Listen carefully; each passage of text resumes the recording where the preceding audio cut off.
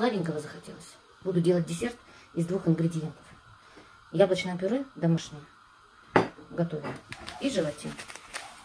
Все, сейчас покажу. Беру яблочного варенья, яблочное пюре 720 грамм и 30 грамм желатина. Размешаю, дам набухнуть. Ставлю на водяную баню, чтобы желатин растворился. Ну, а теперь взбиваем долго и нудно, пока не повелеет и не увеличится раза в три. Угу. Вот какая масса получается. Видите, какая масса получается. Вот. Форму я застилаю. Застелила пищевой пленкой. И выкладываю вот сюда. Вот сюда. Отлично.